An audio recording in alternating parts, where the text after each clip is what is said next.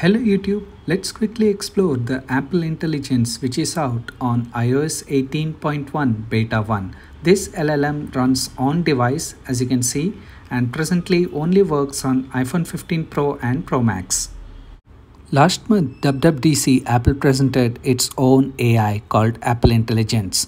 So to run this you need to be on 15 Pro or Pro Max or M series iPad and Macs so if you're on market for new iphone so please don't get the 15 so wait for the 16 it should be out in two months now and that should get the apple intelligence.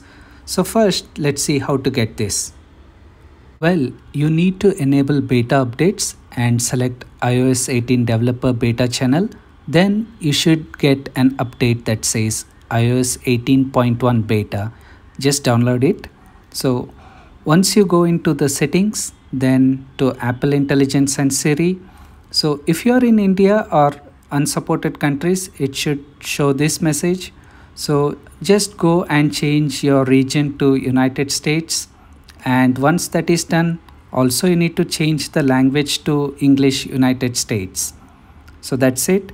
And boom, you will get the join the waitlist option. So select that. And now I've joined the waitlist and just wait for a few minutes and once you come back it should be in there. Boom it's there. Now we are not getting all the apple intelligence features in first beta. So here are the five features that we got. So number one is call recording. So finally iphones can record your call. So you have an option on top of the screen. So as you can see here then click on continue and once you do that you get an announcement for both the parties that this call would be recorded. So that is good thing and that's good for privacy. And also you get the transcription going on. As you can notice the voice is being recorded and also it's been transcribed at the real time. So let's see how it does. So let's stop the recording and we have the transcription ready over here. And we can see the call duration and also the audio file being saved and when I click on it yeah I can see all the transcription details here. Number two is writing tools. Here is a cool demo. So I typed up some message. It's really rude. So I just want to change that. I go into the writing tools and I just click on rewrite. And it gives me a warning and boom it rewrites the message in a very polite tone. So I can just send this one. And so this is a great feature. So it's called writing tools. There are multiple options. So if i want to sound professional i can do that with just a click of a button. So you no longer have to go to ChatGPT to do all these things. So you can do this on device. And also you can concise the things. So you can make it into points. Or like you can also add it to table. So there are uh, multiple options. So as you can choose from here. So i changed this to key points. So I can do it something like this. So it not not just works on smaller things. So even if you have a big text so if you want to do uh, like a cleanup kind of thing so it will do. So as you can notice here I converted it into a table. So this is really a cool feature. And also now you can see in notes also we have the same uh, option available. So I can go to the more options and click on writing tools. So I have a pretty big um, paragraph over here. So if I want to summarize this so I can do that with just click and all these things are happening right on your device.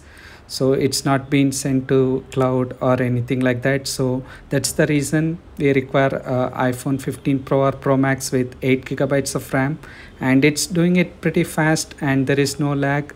So i can just feel a bit of a heat but that's fine and no major issues Coming to number three is reduce interruptions focus mode. So this is a new focus mode. So you go on to the settings app and then you get into focus and you see a reduce interruptions focus mode. So this is an intelligent AI focus mode. So once you set up the people and apps that you wanted to be uh, notified of, so you get it and it's intelligently it uh, cancels out the notifications that is not relevant at this point of time Number four is transcription and summarization. So first let's see the summary. So for that, let me go into the mail app and let me open one mail. And on top you have the summarize option. And once i click on that so whatever mail content that i have i'll get a summary of it. So this is really helpful when reading like large emails. So this only works on the uh, inbuilt app. And now coming to the transcription. So go into the voice memos and you have an option here so once you click on that and it should take you to the transcription but right now it's not been enabled and the last but not least one is new Siri UI. It's just the UI and not the Siri 2.0. So once you click on the Siri button, you get this cool new animation that covers the entire screen and you get the result over there. Siri, I thought it's Apple Intelligence. Here's what I found. So definitely there is some scope for improvement over here. And finally let's see the overall performance. So first let's see the battery life. So i'm getting more or less the same amount of battery life that i was getting with the ios 18 beta the last developer beta. So there is no change in that. And also the battery health has been degraded uh, quite a while. So it was 99 for some time and uh, it has drastically reduced but that's with all the 15 pro series which i seeing in Twitter. So let's see some performance difference. So let me run the Geekbench 6 benchmark test and once I go back home, let's see the results. Okay, so the results is considerably less when I compared with the iOS 17 scores. Maybe because I'm running the all these AI models and it's taking up a lot of heat, so I can feel heat on my hand, and that's the reason maybe the score is lower. So it has thermally throttled itself but yeah like once it's out of beta or like once the newer beta comes it should improve quite a thing and so also let's see uh, what is the storage which this uh, large language model is taking. So it's on device. So the chat gpt thing so that is still coming soon. So right now it's just the apple intelligence. So let me go into ios and the apple intelligence is taking 2.86 gigabytes right now. And that should be fine. Finally, onto the conclusion. Should you upgrade to iOS 18.1 developer beta? Yes, if you want to try out Apple Intelligence. It's pretty stable apart from few bugs here and there and future beta should bring in more features which is advertised and also add on to the stability part. So the second question, is it good to buy iPhone 15 Pro or Pro Max now?